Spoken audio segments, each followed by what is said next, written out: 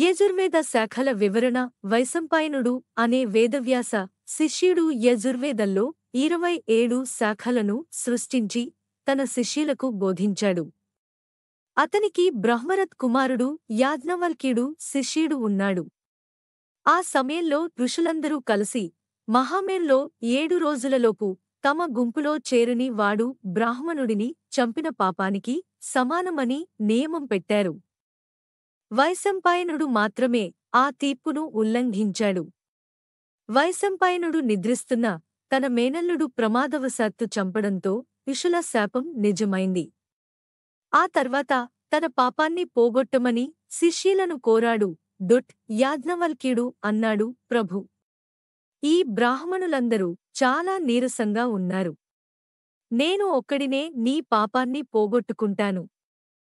ఈ గొప్ప మాటలు వైశంపాయనకు కోపం తెప్పించాయి అతను ఇలా అన్నాడు మీరు ఈ బ్రాహ్మణులను అవమానిస్తున్నారు కాబట్టి వెంటనే నేను మీకు ఏది బోధించినా దాన్ని తిప్పికొట్టండి వ్రియాజ్ఞవల్క్యుడు అన్నాడు ప్రభు నేను ఈ మాటలను మీ పట్ల భక్తితో చెప్పాను అయినా మీరు నాకు బోధించిన దానిని నేను తిరిగి పొందాలని కోరుకుంటున్నాను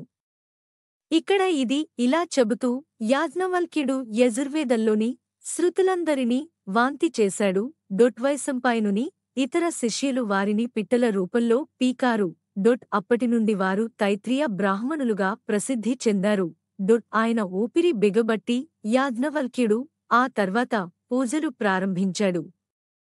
యజుర్వేదాన్ని తిరిగి పొందాలనే కోరికతో సూర్యుడు డుట్ అతని ప్రార్థనలకు సంతోషించిన సూర్యుడు అస్వరూపంలో అతని ముందు ప్రత్యక్షమే వరం కోరుకోమన్నాడు యాజ్ఞవల్క్యుడు తన గురువు వైశంపాయనుడికి కూడా తెలియని యజుర్వేద సూతులను తనకు బోధించమని సూర్యుడిని అభ్యర్థించాడు సూర్యుడు అతనికి ఆయాత్యం అని పిలువబడే యజుర్వేద సూతులను ఉపదేశించాడు ఈ శృతులు చదివిన బ్రాహ్మణులకు వాజీ అనే పేరు వచ్చింది ఈ రోజుల్లో ఈ వాజీ శృతులలో పదిహేను ఉపశాఖలు ఉన్నాయి వీటిని మొదట యాజ్ఞవల్క్య ఋషి ద్వారా వివరించబడింది ఈ సమాచారం ఇంటర్నెట్లోని వివిధ వనరుల నుండి సేకరించి మీకు అందించబడింది మీకు ఈ వీడియో నచ్చితే లైక్ చేయండి షేర్ చేయండి సబ్స్క్రైబ్ చేయండి